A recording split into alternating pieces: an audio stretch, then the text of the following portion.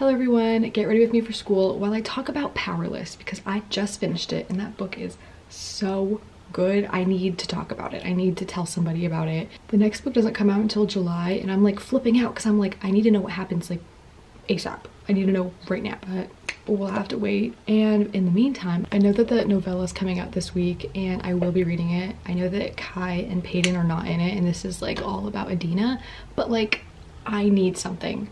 I need something. I'm putting so much concealer on my face, but you know what? I'm breaking out, so I kind of need all this. When I first started the book, I will not lie, I was all like, I don't know about this dialogue, because at times I was like, it's a little bit predictable, a little bit I wouldn't say cringy, but it was just predictable, okay?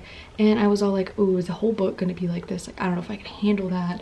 Because maybe it's not as good as everyone says. The dialogue just like blatantly said, it's like, oh my gosh, brother, we're sparring. I'm having so much fun. And I'm like, oh, well, you could have just thought that in your brain saying, oh my gosh, that's my brother and he's the prince, you know? But like, I don't know. Like they just said it in dialogue and I was like, hmm, I don't know how I feel about that choice but um, I was like, I'm not a writer, okay? I'm gonna, I'm gonna, I'm gonna stick it through. I'm gonna read this book because everyone loves it, and I'm sure that I will love it too. I think it was more just like setting up like exposition wise or something because I didn't really find that problem to happen like throughout the book as I was reading it. I was just like, oh, maybe that could have been said internal monologue in your brain instead of like chosen as actual dialogue to say for the characters. But i didn't really find that again in the book. I was just kind of like you know what? That's chill. That's fine. I saw it in the beginning but i was like I can look past that, I'm cool with it, you know? Also want to preface this by saying I read books for fun, for the like imaginative world and so I can like escape my world into another. I don't read them because I'm looking for something super profound and like the best book on planet Earth, okay? Some people have different taste and that's okay. This is my taste. I ate this up, okay? That's the truth. I'm like so out of concealer and I bought another one, but I'm like, no, I'm gonna use every last drop of this and I am going to get there. I didn't really know what to expect going into the book either because I was just like, okay, I know that like it's forbidden love kind of or like enemies to lovers, but like I didn't like read up on anything about it and it was fantasy and I'd only read Six of Crows and like Fourth Wing, Iron Flame, like those two. And I was just like, okay, I don't really know what this is about, but we're gonna dive right in. And I'm so glad I did because it was amazing. Bro, it was magic. Literally and figuratively. It was magic it just had the big three for me. It had Hunger Games vibes, obviously. It had Divergent vibes, which don't quote me on this, but I think is the blueprint. A lot of books nowadays are being like, whenever people like recommend books, they're like, oh, this has Divergent vibes plus blah, blah, blah. And I'm like, y'all weren't there. Y'all were not there. I was there. I know. So in my mind, I'm like, ooh, if it has Divergent vibes, I'm absolutely going to love it. But it also had like Maze Runner vibes towards the end of it. And I was just like, oh, yes. Also maybe a little bit of like Harry Potter, the Goblet of Fire towards the end because like the whole maze, I was like, I think I've seen this before. Maybe just a little bit. It gave me everything I wanted. Things that I didn't even know that I needed were in that book and it made me so happy. And okay, maybe a little bit of like Six of Crows vibes, maybe a little bit of Fourth Wing vibes were also in there. Maybe, okay, just hear me out. The summer I turned pretty because, you know, like the two princes, like, you know, brothers. And I couldn't tell if there was like a love triangle forming. I was like, she's into Kai, but I think Kitt's into her. So like what's happening? And like she was being friendly with him, but like obviously we all know she was trying to get information, okay? But I'm like, is there something going on? But like obviously he did like her because in the epilogue he was like, I feel betrayed for someone that I trusted, someone that I wanted. And I'm like, so I wasn't making that up in my brain. It was true. But like, no, she's supposed to be with Kai. Uh, and that's like a whole other thing. Oh my gosh, crazy, crazy. Also, I originally thought that maybe it was like moving too fast because I was like, oh, when they first met, they were already like flirty flirty with each other, you know? But I was like, you know what? No, I think it works. I think it's fine. Because I don't really like love when like the couple like likes each other right off the bat. But they thought they never gonna see each other again. So like they were like, I'll be flirty flirty. It's fine. Obviously I knew that they were gonna see each other again. But they didn't at the time. So like it was fine. And also, I have nothing to compare this book to. I know a lot of people were like, oh, it's giving like Red Queen vibes. Never read Red Queen. I have absolutely no clue. I don't know. This wasn't like my first introduction to a book like this, but one where it like ends in betrayal like that at the ending. Yeah, kind of crazy This book has just become my new obsession, and I've been stalking Lauren Roberts page and looking at all the fan art. Oh my gosh. Okay, when you finish like a book, like looking at the fan art is such a trophy at the end because you're like, okay, let's see. Let's see if all of our minds put it together and let me try to find the best one that matches what I pictured in my brain. And you know what? Some of the fan art, it's not hitting. I've seen a couple and I'm like, okay, I can kind of see it, but just I don't think anyone can get Kai right. I just don't know if anyone's doing him justice. Also, I have no clue when this book came out. I thought it came out in like December of last year, but then I see TikToks of people reading it from like November of last year, and I'm like, oh, I don't know. I thought it was late to the Powerless train, and I was like, it's okay. Don't worry, I'm gonna read the book that comes out this month, which it doesn't. It comes out July. Okay, I was like, yeah, I'm like one of the last people to be reading it. I don't think so. I'm seeing a lot of hype of it now, and I'm like, oh, when did it come out too? So I don't know. I feel like I'm like right in like the curve of when I should be reading it. Dude, I don't know, but I'm glad I did, dude. But the trials, the first trial though, let's get into that. Let's let's unpack the first trial because I didn't know what to expect or like what was actually gonna go down. I was just like, oh, okay, so they're literally in PJs having to survive for like a week in the forest. I was like, okay, awesome, cool, don't know how that's gonna pan out. I was also really scared because I was like, she doesn't have any powers. So like I mean, guess she can fight, but I'm like, how's that gonna go down, you know? But it's okay because they found each other. They found each other. The way he saved her life. You're kidding. That was so good. I was literally giggling the whole time. I was like, is she gonna die? But then he was like, oh, no. And I was like, mm. Actually, no. This whole book had me kicking, giggling, screaming, kicking my feet up. Like, the whole book, the whole time. Anytime they had a conversation, I think it was just the tension was so good. And like the angst anytime they talked, I was like a little schoolgirl just like laughing and giggling. Like I could not help myself. And you know a book is good when you start doing that. Like this book, five stars because of that, okay? But like the first trial, I was like, okay, this is giving Hunger Games. Hunger Games. She even had a bow and arrow, okay? And then at first I was like, because when she like walked over to Kai and she was like literally about to die and he was like, oh my gosh, what do I do? What do I do? He found like a first aid kit or something like that. And I was like, was that a parachute? Did someone give him a parachute? But no, it was like something that Braxton like dropped and he was just like, ding, let's go. And it was like an elixir, so it was different, but like also kind of the same because in Hunger Games, it's like that salve or paste or whatever that they use to like help Peeta, which is like low-key the same. I don't know, but I was like, Hunger Games, Hunger Games. And then also when they're training, oh my gosh, when they're training, Blair throws or like uses her powers and she throws a dagger at Paedyn, guess what? It nicks her ear and she's bleeding from her ear. Does that sound familiar? Tris from Divergent, which is like a crucial moment. Oh, oh my gosh. I know it was different because it wasn't like the male lead that did it, but also I was just like, ooh, that's crazy. All of these things that are like plucked from other books, I can look past that because honestly it had all my favorite parts of all of those just put together in one book and I was just so happy. And it was like a different spin because the ending is like different. The betrayal okay the magic even though she doesn't have magic it's like you're still living in that realm. I don't know. I i ate it up. As you can tell i i, I loved it. And the balls don't even get me started on the balls. Those were insane. I was like no kid asked her and i was like they're never gonna get a chance to hang out. Wrong. I was so wrong. Some of their best moments were literally at the ball. Like the attack that happened with the rebellion in the middle of the ball and he was like trying to save her. And then the next one with like the willow tree and they were like hanging out over there. I was like mm, so good. So good. I don't know but just lauren roberts knows how to write just angsty tension and she does it so well. I was just eating it up. Look i finished this like two nights ago like 2 a.m and oh, that ending i knew it was gonna happen. I i knew it was gonna happen but it still got me. It still hurt. And the parallels the parallels and what he was saying. He was like oh hey what have you done to me? And then at the very end he was like what have you done to me? And he's like i'm gonna give you a running head start. Go because when i find you i'll have the courage to kill you. I'm gonna take this knife i'm gonna stab you in the back like you stabbed me in the back. You are kidding me.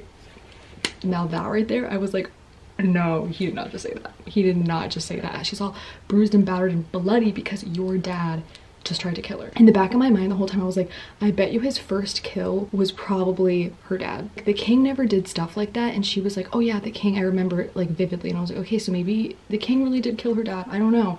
But then in my mind I was like, oh, the king like trained him as a child. So he probably killed, in my mind that was a conspiracy theory, but I was like, he probably killed her dad. And when it turned out to be true, I was like, mm, I did not want that to happen, but I like had a feeling. I had a, such a strong feeling. But also, at the very end too, there was like that site who saw the whole thing, and I was like, okay, I hope Girly recorded the whole entire thing where the king literally confessed to just like lying to all of his people, you know, and not just the murder that happened. So I hope that that gets mentioned in the next book because I'm like, the people need to know. Kitt needs to know. There was a reason behind the murder and it wasn't just like full on betrayal. I mean, okay, it was full on betrayal, but like, dude, I don't know. I don't know how to paint that to make it look good. But yeah, dude, I can honestly just go on and on about this book. After I read a good book, I'm just like, I need to tell somebody about it. And I just end up telling my mom and she's like, cool, you had a fun time. And I'm like, no, I need to tell somebody. I don't have anyone to tell about my books. Like literally nobody. I need to tell a living soul, someone who might care, someone who might understand just a little bit. This book has just become my new recent obsession. And like, that's okay. By the way, this is my chair. It's very squeaky. It's like a turny one, a spinny chair. Don't look at the back of my head. I don't know what it looks like with my hair. but yeah, if it's noisy, that's what's going on. Oh my gosh, I should not have put that in. Every time I put this product in, I think maybe I either put too much or I should put it in before I do my concealer, but it kind of like smears. Maybe it's because I shouldn't be brushing it with a spoolie. I don't know. maybe it's not dry yet. That could also be something too. I don't know. Also, when I don't know why, but whenever I film it from my window, it's like so blindingly bright. So if I look really, really, really pale, that could be why. Maybe I am also just pale. okay, let me look back in the book because I'm like, what else am I forgetting? What else am I missing? I don't know, just the way that they always had each other's backs was like so good. And okay, I don't like a damsel in distress, but like I do at the same time. Like, okay, she's powerful, we get it. Even though she says she's powerless, she's powerful. We know she can handle herself. But I do like when he comes to her defense and saves her, okay? I'm not saying that I'm ruling for a damsel in distress all the time, but when it's called for, it's good. When it's called for, it is good, okay? Because like also she couldn't save herself in every scenario. Like when they first met, obviously she saved his life. And then when they got to the trials, he didn't have to. They were like kind of flirty flirty, but like they hadn't like established anything. And he was just like, I care for her. So he like obviously saved her life, didn't want her to die because of what Ace did. And then he was like, who did this to you? Come on. Come on. And then again, I forgot who it was, but in the first trials afterwards, I forgot her name. She died though. Kai killed her and then he buried her body. So sweet. Okay, that's kind of like bare minimum now. And you shouldn't be killing each other. But like in the context of this, so sweet because he didn't have to do that. I haven't done my makeup in front of like a mirror in front of my window in like so long and now I'm like, my makeup doesn't look that good. But you know what? It's gonna have to be. And I don't know guys, dare I say, but no, actually I'm, I'm going to say. Kai, he's on my list of book boyfriends. He's moving on up in the ranks. Um, I think it's also just because my obsession right now, but like he's definitely, he's definitely up there on the list. Yeah. And I know that like this is probably like a common thing though, but like the fact that like he's the enforcer and he kills ordinaries and she's an ordinary. He was like oh my gosh we're flirting like we both like each other. She needs to just like give in to this and like do whatever she wants because they both never got a chance to do what they wanted as kids and now they're like this is for us. But like he doesn't know that she's scared because of their connection. But also because if he knew the truth he would kill her. But like he wouldn't kill her. You know? I don't that's what made it so good because it was like such this like give and take of push and pull. I was like uh just like fighting with myself and being like oh my gosh what are they gonna do? But also i hadn't read a book with something like this type of vibe or trope kind of where it's like i don't know i don't know how to explain it but so for me it was very like refreshing and new but like obviously maybe i just haven't read that many fantasy books out there but for me since i read this one first and this is what i'm reading this is i was eating it up. It was great. Oh my gosh, and I totally forgot. And the way that, because he was giving her dance lessons because she was gonna go to the ball with Kitt and I was like he took her up to his room his room and they had dance lessons at like midnight. And then in the first trials they were dancing underneath the stars. It was so cute. And I was like oh, they're catching all this on camera too. I was like are they gonna have like a star-crossed lovers moment like Hunger Games? I was like are they gonna get that? But I was like okay no they're not. Like the general public is not seeing what we see obviously. And then I was also like this is so Hunger Games, but that girl's, what's her name? Tila with the teal hair being the interviewer. I was like, she is Caesar Flickerman from the Hunger Games and I want to hear that cackle girl. Give me that laugh. I want to hear it. We never got it though. The way that the king put Adena in the middle as like the criminal, now that was criminal. Why on earth did you do that? Like, I know why you did it, but like, that was terrible. And Blair, I hope she gets her revenge on Blair in the next one. Now, Blair's such a coward because she wasn't even in that fight when like the bowl and like the rebellion and all that went down. She was gone. I was like, this is her moment. She can kill her right now. Vanished. I was like, mm, okay. Coward much. The next time she sees her, she needs to be like, I'm about to beat this bitch up. Because I'm like, she needs to die. She literally killed her BFF. Her only family, really. Girlie's all alone now too. But yeah, this book was just so good. So happy that I finally read it. Like it'd been sitting on my shelf for like, I want to say like a month because I was reading what was I reading before that? I don't even remember. Oh, I was reading um, When in Rome and Practice Makes Perfect and I was like, I'm gonna read Powerless next. I waited like a month to read it. I should have read that first, but you know what? I'm kind of glad because then I would be waiting like four months for the next book to come out. So I'm kind of glad that worked out. Maybe not. I don't know. And then like, okay, I like Paedyn and Kitt's like friendship. I was like, that's good. And she's gonna teach the future king some lessons and like what he needs to fix about his kingdom. But the way that she like completely betrayed him, I was like, girl, this is not gonna end well. This is not gonna end well because she went to those like rebellion meetings and I was like, okay, your dad, whatever. You know, he was like the head of the rebellion. Okay, you know, that would have been great to figure out sooner, but it's fine. She stole his keys and everything. I was like, ooh, mm, he really did just use him. That was kind and I think he used him too because their relationship was a lot different than her and Kitt's. I don't even know. And then when we get to the epilogue, I was like, Kitt's POV? That's not good. That is not good. And he was like, bring me Paedyn Gray Enforcer. I was like, okay, we've lost it. We've lost you. Now you've turned into your dad. And he sits in the dad's leather chair. I was like, is that the leather chair that was her dad's? Because she always mentioned in her home her dad like in his study had a leather chair and that's where he sat. And i was like oh, is that the same leather chair? I might be reading into things too much but i'm like oh no. And then the sneak peek of the next book like the first chapter. Oh my gosh. The way kai is just talking to himself in her house and she's in the chimney just like how the book started. Crazy.